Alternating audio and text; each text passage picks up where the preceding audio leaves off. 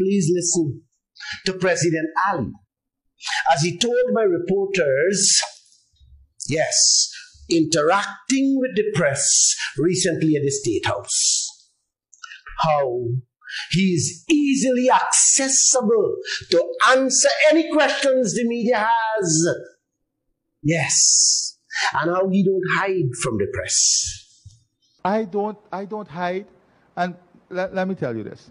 Mr. Lall knows this. If he has a question, you can send a question to me.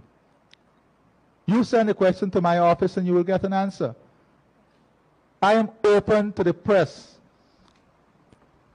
I am very, very much open to the press. I am available to the press. Well, guys, 48 days has passed since my reporter sent him a message in which the auditors who worked with the Trinidad government in their oil and gas industry and saved Trinidad millions upon millions of US dollars out of the skullduggery the oil companies were pulling on that country is now offering their services to come to Guyana free of cost to check Exxon's inflated bills. They want no money up front.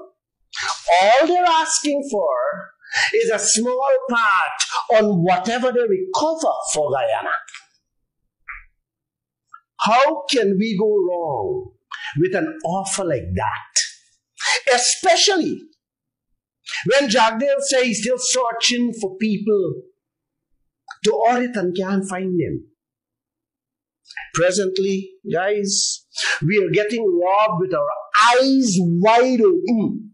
And here is a company who willing to come and whatever they recover, they just want a piece to pay the few people that help. So that both Guyana and them can come out winners. Guys, as it is, we are losing everything. The reporter sent that message several times back to President Ali, did not respond. Hear this. After he didn't respond to the reporter, I myself sent and resent him that message in which he read it. And he went numb, he went dumb and silent.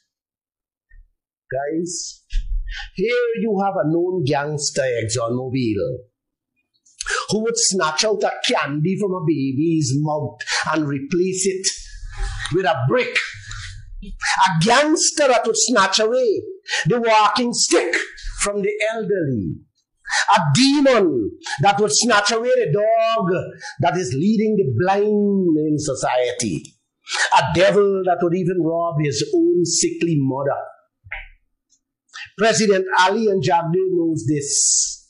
And here is a company out of Trinidad that is willing to invest their time, expertise, and money to come here in Guyana and audit the books. What Jagdeo says he can't find people to audit.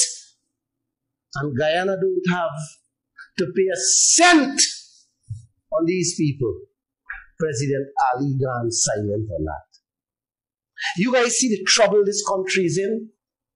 If we don't stop these people with what they're doing, then make up your mind to send your grandchildren and great grandchildren to school for a lifetime to come or generations to come with empty lunch kits.